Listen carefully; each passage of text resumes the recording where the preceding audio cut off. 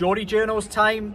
Yeah, with Jordan Crow. I shouted that, didn't I? Yeah. Yeah, with Jordan Cronin, Dominic Scurr, just so you can hear us. I'm making sure because we had some complaints about the sound, but you won't miss me this time. Right, back to winning ways. Uh, it wasn't pretty. It was one for the purists a little bit there at St James's Park, but three points is all that matters. Um, I'm gonna frame this the start of this video with a little bit of I think contextual stuff. I think today for me the result is all that mattered but it was it was much more than just three points it was more than just getting Premier League the Premier League campaign back on track it was it was a little bit about making sure that everybody could enjoy the return to Champions League football after 20 years rather than it be framed with domestic, domestic crisis which more drop points at St James's Park here would have been um, I'll come to you guys now and maybe look a little bit at the game and what you thought went well and what you thought didn't go well. Dom, I'll come to you first. Yeah, I think it's fair to say it was a slow start to the game. Newcastle didn't really have a lot of quality. It was all a bit laboured, a bit predictable. Played a lot of long balls. The intensity, I think you said, Liam, the intensity that became Newcastle's identity last season was just not there, certainly in the first half. And Brentford caused a couple of problems, but not really. They lacked a bit of quality as well. So not not a very exciting first half. I thought Harvey Barnes on his first start in the first half, he did grow into the game later on, um, was very sort of predictable and um, unconvincing on the ball in terms of didn't look like he could beat a man but did grow into the game and was more of a threat in the second half. Five changes made by Eddie Howe um, who confirmed after the game Joelinton will be out for, for three weeks. Sandro Tonali who's on the bench today who um, hopefully will be back involved against his former club AC Milan. So yeah, five changes made. Um, Elliot Anderson his first start, Sean Longstaff his first start of the season, Sven Botman back. Um, I thought all the players coming into the side um, did, made gave a decent account of themselves. Um, as I say, I think Newcastle, after a really slow start, did grow into the game, and then Callum Wilson um, scored the penalty, which I'm sure we'll get on to whether it was a penalty or not. Um, a bit, a bit de- divisive. Um, no, there's no no divide. Well, there. well, Liam, you made all of St James's Park know what you felt about the penalty, which I mean press box etiquette, like we do sort of try and sit on our hands. Obviously, you want Newcastle to win, but yeah, Liam screaming, it's got to be a penalty. Um, it's Repeatedly, penalty, yeah. um, after Anthony Gordon goes down um, under the challenge of the goalkeeper, um, I was willing. I was willing Craig Pawson to actually make a correct decision. I mean, seriously, man, what on earth was he today? I'm not really somebody who like dives in on referees because they've Are got. Well, maybe I am. They've got one of the toughest jobs in football, but you've got a bloke watching it on the telly, man. Use it properly. Honestly, the, for me, and people may not agree out there, but he, he set the tone from the off. Really, the bar really low. He started giving bizarre decisions, didn't give Newcastle anything really for that first 20 minutes until the crowd really started pressuring him. And then he gave some bizarre decisions that probably weren't Newcastle free kicks. And then to come on to the major decisions of the game, how do you give that? How do you disallow that Callum Wilson goal? There's a oh, bloke watching it. There's a bloke watching it on the TV. The referees had a look at it. The linesmen have all been had a chance to have a look at it. The fourth official, and they've come to this decision that it was a foul. It's protectionism of goalkeepers at its worst in this game, and I'm all for that. Look, the slightest thing can be a foul. It's about a, a deft touch here and there that can affect the goal. There was none of that. It was honestly weak, poor decision making. And then I'll come at the two penalties, which for me, why if they took a second look? For me, VAR is like, have you made an obvious error? Go and have a look at it. The people in Stockley Park have decided that a ball hitting a bloke's arm and stopping it going into a goal scoring position is an obvious error. Like seriously, the refereeing of this game was a disgrace. It genuinely was. There's your headline for this, Jordan. I'm not. I'm just not having Craig Pawson today. Like, what was he on? I'm. I'm just not having it. Um, these, these, videos aren't the same about what Kennedy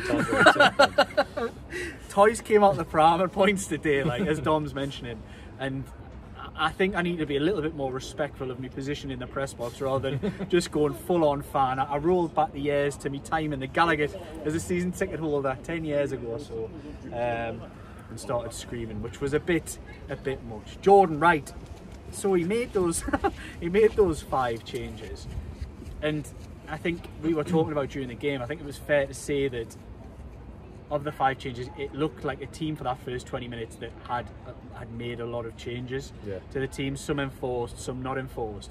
That link, the the sort of flow between midfield and attack, that there was no there was no continuity there, was there? And you could tell that they hadn't really played together. No, I, I, I agree with that. I thought I didn't think there was I don't think they were bad individually. Anderson had a moment where he made that really nice turn in the middle of the park where he played Harvey Barnes through.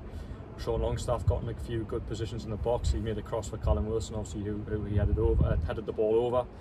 So I think there was moments with the midfielders, but yeah, in terms of continuity, it was it was probably similar to what we've seen in recent games, but without obviously Joelinton and, and there. So there was a real lack of understanding between between the three.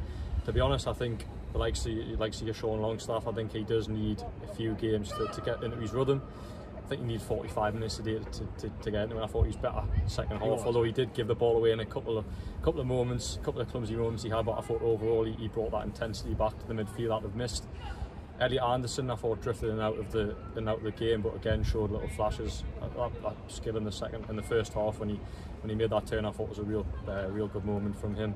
Again, I think that's still only probably his third, fourth Premier League start, so it was a good game for him to come in today and, and, and get uh, 90 minutes under under his belt. Which again is another interesting thing that Eddie Howe did in terms of only making one substitution. I don't know if he's been challenging he's in our Pep Guardiola or copying Pep Guardiola. It was a Uh, bit, wasn't he?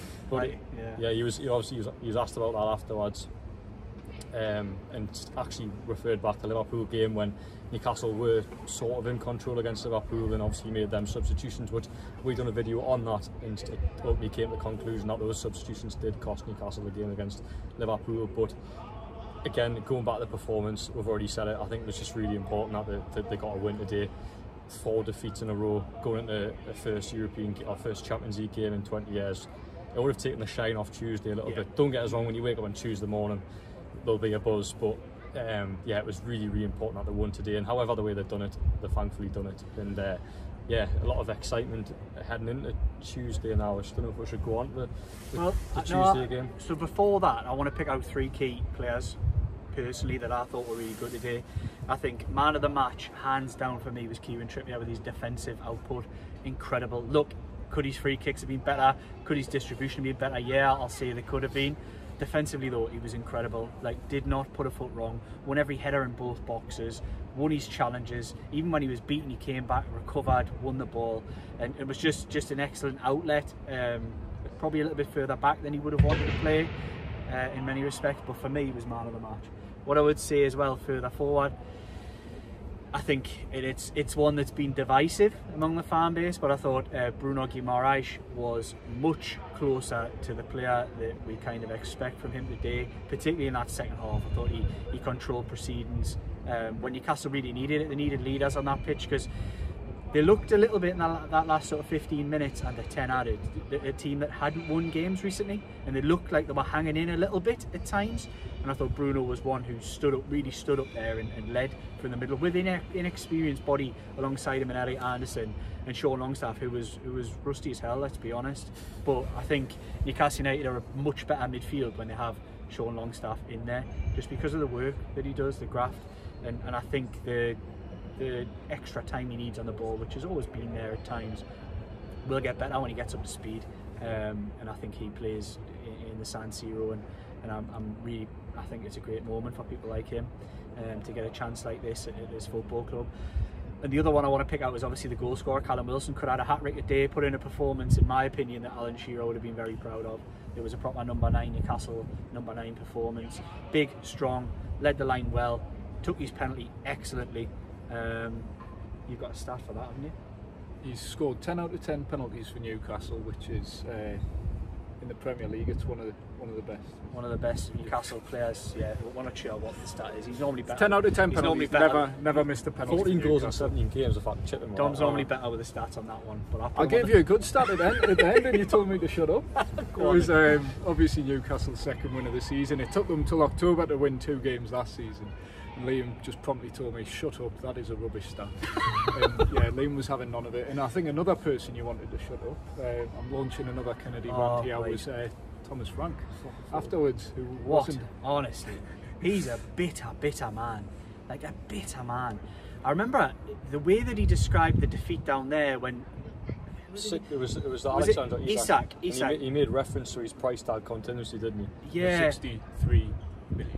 Yeah. I remember sitting like he was right in my eye, like just shaking my head at him during that press conference. It was an incredible one. And again, the guy finished his press conference today at St James's Park and started blaming the ball boys. Started blaming the ball boys for not giving the ball back quick enough. Honestly, are you for real? You're a Premier League manager who's come here and, and his team put in a decent performance you know, have had some, you know, he thinks bad refereeing decisions. He didn't think any of the decisions that went against him um, were correct. He would say that. He called out um, Damian Spellman from PA about being, for being biased at the start because he was from the from area. Hartlepool. Yeah, Hartlepool fan from Hartlepool called him being biased. Um, just comes across as a very bitter man. I actually really like the way that he sets his team up and the job that he's done at Brentford and the players that they've signed. I think there's a lot to admire about the type of stuff that he does, but come on, Thomas. Really? do you need to go that low? Do you need to do all that? Show a bit of respect, show a bit of decorum, and don't blame kids for not throwing the ball back. Seriously, man, have a word with yourself. It was strange. It was completely unprovoked. Like everyone had Nobody asked out him of about it. questions, and he just went. And, And the what about the boys, ru- by the way? And what about the rule changes? And what about the ball boys? And there's no need for it. Petty, petty man. Moving on. At least I make you laugh. yeah. Professors have got I one know out the it's out window, the window, today. isn't? Um, but AC Milan on Tuesday night. We're looking forward to that. Cannot wait. All three of the Geordie journos will be there. Press box, San Siro, and we'll try and give you as much content as possible uh, through a trip, a journey. Jump in the comments and let me know what you guys want. Do you want to see? Do you want to see a bit of a bit of a tour diary? Do you want to see we're going through what, travel and where we're at, and, and or do you want do you want sort of us to get other people involved and do interviews and so What do you what do you want from from the Geordie journos during that period? We can continue to give our opinion pieces like this as much as you like, but our intention is to do one uh, video a day, particularly from probably from Eddie Howe's press conference and the match itself in the San Siro. Um, give you guys a little bit of our eyes on on the experience over there because there's only a limited amount of people can actually get over there to, to to do the game and whether in that very privileged position. And we want to give you guys the type of content that you want from from that trip. But um yeah again I'll come to you first Dom on this one. Thoughts ahead of that game? We've seen an absolute trouncing Inter Milan beating Oh, yeah. AC Milan. Do you read much into that? Not really, because you. I think teams naturally you want after a bad defeat you want to play as quickly as possible. You want to get that reaction in, and they'll okay. They might be feeling a bit sorry for themselves now, but they'll be expecting a reaction. So what I'll say on that is, how do you feel if Newcastle United got be five one today? It's not even against a rival. It's just in the it's just in the oh, division. Oh no, so no, no! I, th- I think you, you are right. Where it's more about the fans' attitude or us as journalists going into a game. I- I think when you're playing at elite level football, it's you just want to play as quickly as possible. You want it um, to be put to bed. And one thing Newcastle have done, certainly last season, not so much this season, is when they have suffered setbacks, when they got beat 3 0 by Aston Villa, the very next game, win 6 1 at Spurs. So it's all about reactions in football and, and bouncing back. So I don't read anything into um, AC Milan getting heavily beat by the rivals. But um, I'm sure Eddie Howe will watch that game and, and learn um, a couple of weaknesses that he will potentially look to exploit on Tuesday night. Jordan. So what, like, it's it's a real positive one, isn't it? Now, obviously, we've talked about the result here. Given with that little boost heading into it, what kind of team are you expecting Eddie Howe to, to put out, and how much do you think his selection today was influenced by that game on Tuesday night? Uh, yeah, I, th- I think the I think the AC Milan game played a point, uh, pl- played a role in his team selection today. but I also think the international break did as well. I think he only worked with top players during the international break, so I think previously under Eddie Howe, during the international breaks, he's always tended to pick the team out of, of players that have been around him during that break. So I think that was part of it as well. And also the run of sort of three straight defeats. I think the team did need a little bit of a freshen up. I think we spoke beforehand about you know Sandro Tonali was it a little blessing in disguise that he was injured because it allowed Sean Longstaff to come back into the team I would argue that probably was the case, but then I think there was moments today where Newcastle needed Sandro Tonali to come onto the pitch and, and help control yeah. the midfield. I, I, suspect he will probably go back into the, the start 11, do you think? Um, I think so. I think Tonali starts on Yeah, it was, I think it starts on Anderson probably. If I was to guess the team, I, I think Anderson comes out. I yeah. think your front three, looking at the changes he made today, probably picks itself with Isak and Almiron, who he dropped out of the team. I think it was quite telling yeah. we'd bring them in on Tuesday night, despite what I said about Wilson's performance. The fact he didn't bring Isak on is again to me kind of underlines that. Um, I don't think he would have brought Almiron if he didn't feel he had to, but they needed that little bit of energy in the final third, which Almiron gave them. And I think Gordon probably switches out the left as long as that knee knock, which didn't seem to trouble him for much of the game. Yeah. Um, as long as he's all right with that one, um, I think. I think you know what it feels like a shot. You know, if you look at the game for me on Tuesday, and if you've got real ambitions as a team to finish in the top two of the group, you have to come away from from Milan with something. Um, but given it's given the the framing of everything around it, you know, minor struggles, some injury problems. Um, the first Champions League game for 20 years at this level. I, I wouldn't, you know, if Newcastle get beat, I don't think it's the end of the world. I think it's the games here under the lights at St James's Park where Newcastle's fate will be decided. I think they can give anybody a game here. If they play like they did for the first 20 minutes at St James's Park today, then I think there'll be a lot of teams looking at it saying, we'll really fancy playing them. And again, similarly, as we said, at Brighton, um, if they play like that. But if, you know, if they can put together a solid clean sheet style performance like they did today where they were open for 20 minutes but you've got to save largely for the, the next 80 minutes with the 10 added on. They didn't really give much away. There wasn't uh, it was feeding off scraps and long distance stuff and crosses into the box for Brentford. And I think if Newcastle can limit AC Milan to that kind of stuff on Tuesday night they've got a bloody good chance of getting a result. So anything else to add? No, no, just a good day all around, yeah. Right, next time you see us, will probably be either in a travel lodge in Manchester or or some kind of uh, some kind of bizarre Airbnb that Dom's managed to book in. Um, might, might not quite be glamping as we've done on this on this one before, but uh, let us let us guys know what you think. Obviously, I'll get get in the comments, get in the likes, get a share out there, and let me know what you guys want from the content over there in Italy. If we don't get any response, we'll just do our best to provide the type of stuff that you guys want. So yeah, like, share, and make sure you click the bell as well. Subscribe um, for more Geordie Journos and Newcastle United content. Cheers guys and we'll see you in Milan.